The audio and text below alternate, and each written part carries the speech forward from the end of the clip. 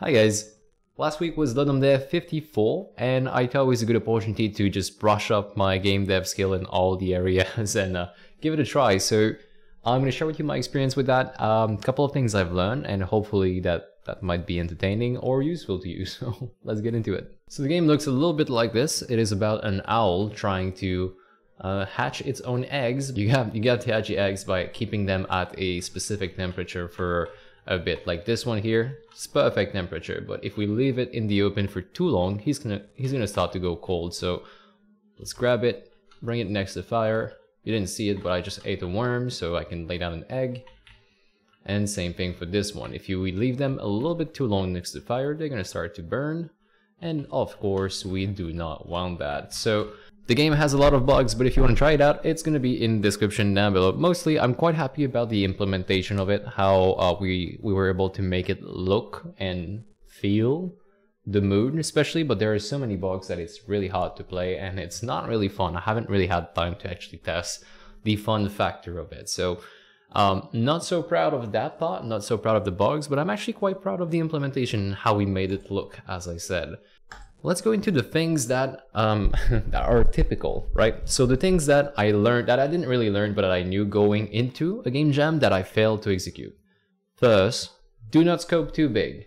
Second, doing everything is actually hard. Um, in my case, I was lucky. I had a ChaoticYunie making the models, I had Lucky making the rig, but the rest is actually quite a lot of work. And going into it, I'm like, of course I can do animation, of course I can do all the implementation and the code and the testing and I'll actually know. So doing everything is hard. Doing a lot of different roles is hard and you have to plan that out in, in your scope, right? So scope small if you want to do a little bit of everything.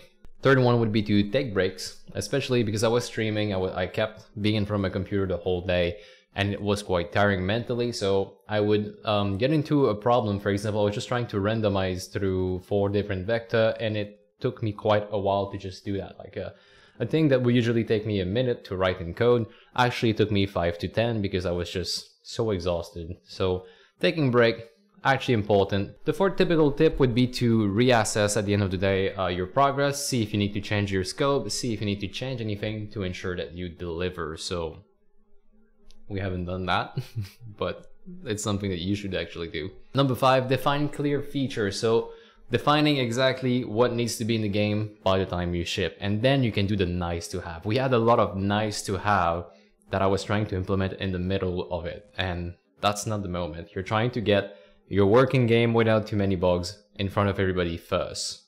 So those were the five steps I actually didn't do quite well this time around. And um, I need to be reminded every time that these things are important.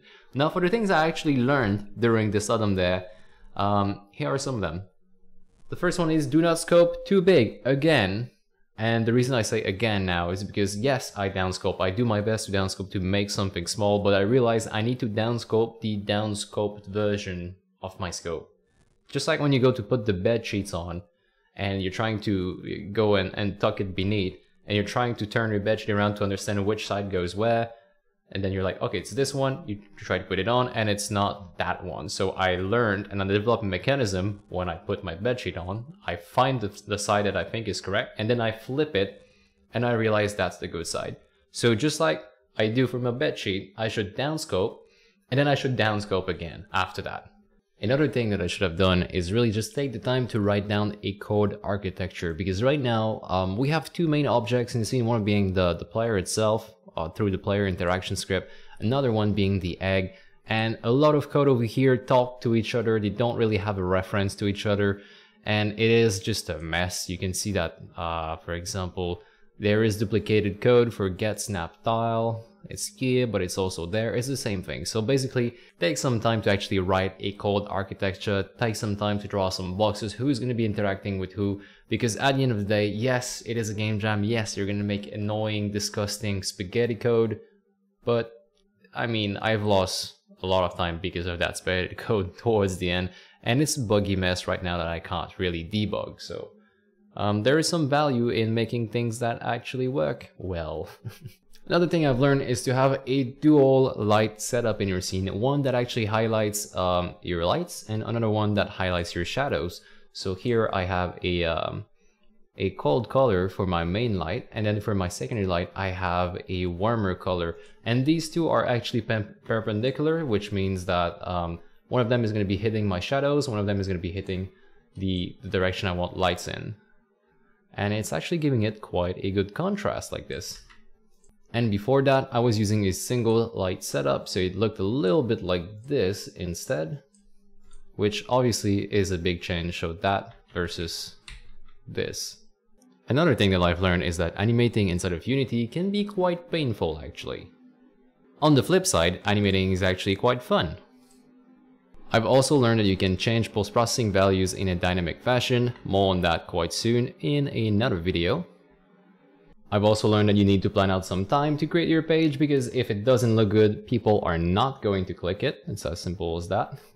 I've also learned about pattern matching in C Sharp after posting my disgusting code in Discord, thank you Rem. And finally, sounds are an actual thing. Our game didn't have any sounds. We didn't plan out for that. But you know what? Um, at the end of the day, we spent a lot of time in front of our computer. We made things happen. We got there in time, so we made it through the deadline, all on stream, all while interacting with you guys, having fun. So I consider it to be quite a success.